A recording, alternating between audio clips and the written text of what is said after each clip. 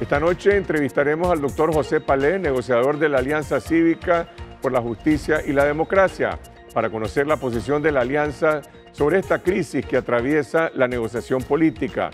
Y aquí en el estudio estará con nosotros el doctor Manuel Orozco, investigador del diálogo interamericano en Washington, para analizar el entorno internacional de aislamiento de la dictadura cuál es la posición de Estados Unidos y cuáles son las expectativas en torno a la Asamblea de Cancilleres de la OEA que se celebra el próximo jueves en Medellín, Colombia. Les presentaremos un reportaje sobre la situación que atraviesan decenas de miles de refugiados nicaragüenses en Costa Rica